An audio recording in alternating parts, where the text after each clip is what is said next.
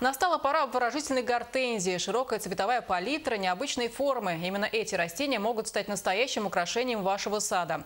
Вид и сорта отличаются продолжительным цветением. О правильном уходе за этими кустарниками расскажет наш эксперт Вера Глухова. Здравствуйте, дорогие друзья! В садовом центре наконец-то зацвели гортензии. И мы целый месяц будем вас знакомить с разными сортами гортензий. Передо мной сорт гортензии «Аннабель». Посмотрите, какие крупные соцветия.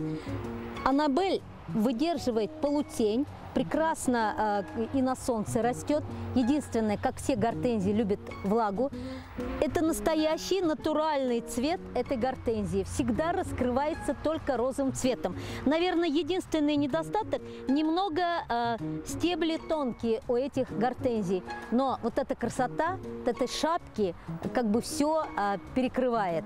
Этот сорт гортензии, посмотрите, более рыхлые соцветия. Эта гортензия меняет свой цвет, потихоньку переходит в розовый цвет.